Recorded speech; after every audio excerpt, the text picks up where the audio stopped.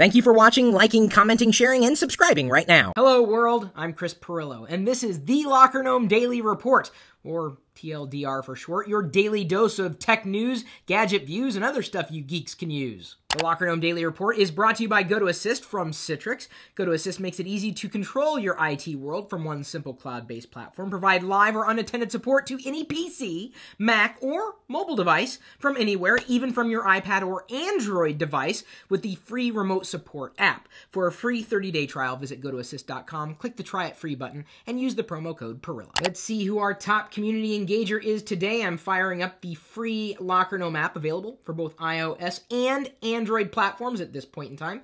Yakub Kubaki.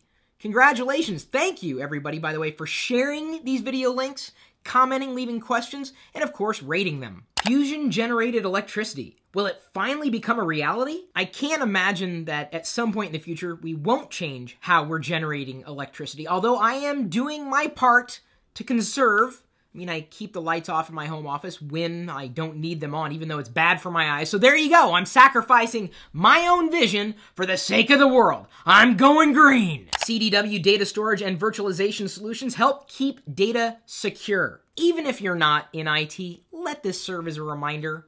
Back up. When are electric cars a viable alternative? I drive a hybrid, and I'm happy with a hybrid. In today's vlog, uh, I introduced you to one of my friends who happens to be driving a Leaf, a fully electric vehicle, although he did say he didn't drive it that day. You know why? Because he had a lot of things to do and wasn't sure where he'd be able to recharge it. So electric vehicles are kinda viable-ish. I mean, so long as you're really not going long distances or you know where you can plug in to charge up. Trust me, I am all about those electric vehicles. I am so happy that I don't have to pay as much as you might at the pump when we have to fill up. Passwords, soon to be replaced by eye movement tracking?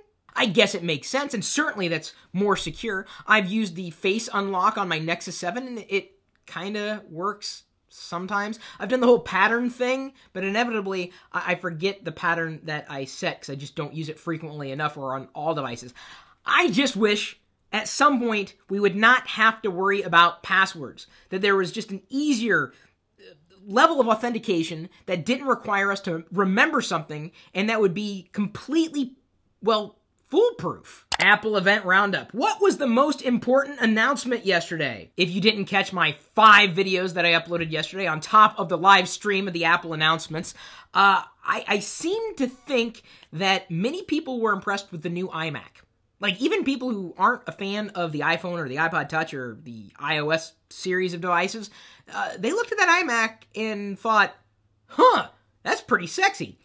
And it can run Windows or Linux or both. We posted our interpretation of the meaning of Lost if you enjoyed that video series, video series, television series. Sorry, I look at everything these days as video. I don't care where I watch it, on a big screen, on a small screen, on a mid-sized screen. We also posted our CN160 LED light panel review. Uh, asked the question, are self-driving cars a solution for dense traffic?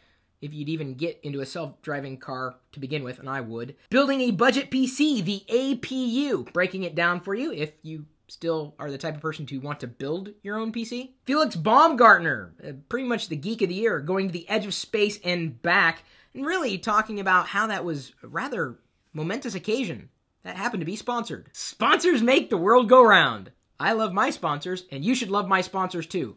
Love them Love them! Because without the sponsors, I would not be doing this. I'd be doing something else. Elsewhere from around the web, Microsoft has no plans for a second Windows 7 service pack. Guess they're really pushing you to 8 now.